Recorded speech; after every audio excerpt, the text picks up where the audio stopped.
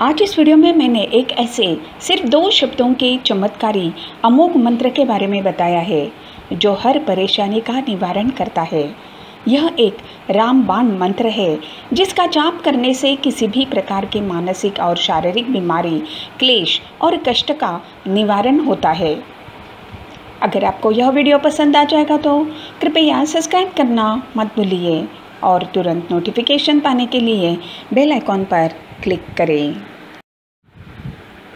इसके अलावा, यह एक अरिष्ट शांति मंत्र है, जो दुख, दुर्भाग्य और अन्य किसी भी आपत्ति को शांत करता है। और इस मंत्र की एक बहुत अच्छी बात यह है कि इसका पूर्व निर्धारित संख्या में जाप करके इसे सिद्ध करने की आवश्यकता नहीं है। और इस मंत्र के साथ विशिष्ट पूजा विधि, अनुष्ठान, नियम और बंधन जुड़े हुए नहीं है।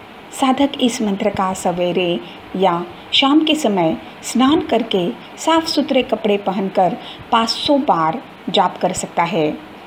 यह छोटा सा मंत्र होने के कारण इसका 500 बार मंत्र जाप करने के लिए ज़्यादा समय नहीं लगेगा। मंत्र जाप के लिए साधक अपने पसंदीदा जाप माला या एक काउंटिंग काउंटर का उपयोग कर सकता है। यह एक बार करने का मंत्र प्रयोग है। जिसका असर तुरंत महसूस होगा और ज़रूरत महसूस होने पर आप इस मंत्र का जाप फिर से कर सकते हो। मंत्र। श्री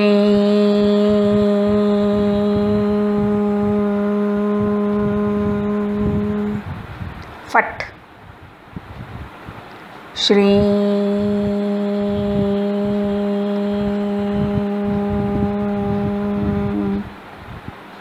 फट। श्री